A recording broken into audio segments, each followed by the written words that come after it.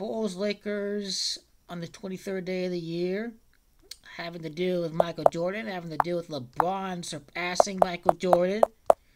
Michael Jeffrey Jordan, Scott Gematria 123. Generated 23rd is 1 23. This is a lot like 123. It is a tribute to the great man himself. The Lakers have 12 wins before facing off against the Bulls because it's Bulls that's got Gematria 12. 13 and 4 the Lakers would be. The Lakers would be 9 and 0 away from home. A perfect 9 and 0, 9 for 9 for the Lakers because it is in Gematria, it is Laker the Lakers. That's got Gematria of 99. 9 for 9 the Lakers would be with a win on the road. A perfect 3 for 3 against the Eastern Conference. Which brings us to the other side of the Chicago Bulls.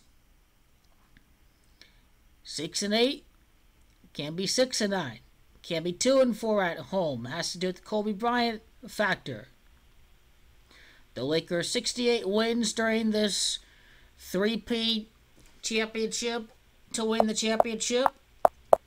They're right now at 80. 81 tomorrow. 64 regular season wins during this three-peat, 52 and then 12.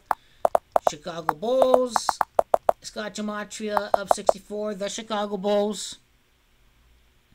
Lakers are beating Chicago. They're winning away at Chicago again. The Lakers are going to defeat the Chicago Bulls. They've already played against the Chicago Bulls at some point this year.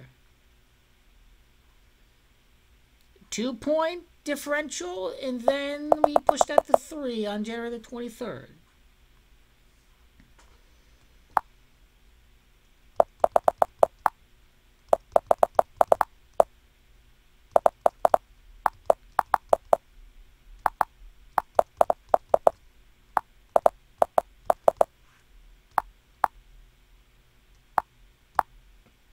Michael's got Gematria 51. LeBron and company are 3 for 3 against the Eastern Conference, the King of the East.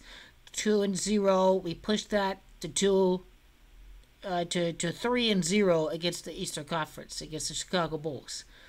A perfect 9 for 9 away from home this year. The Lakers, the Road Warriors. Hmm. 9, 10, and 11, ah, 11 and 1 or something like that. All these games on the road for the LA Lakers. Interesting if the game against the Celtics is the first road loss of the year.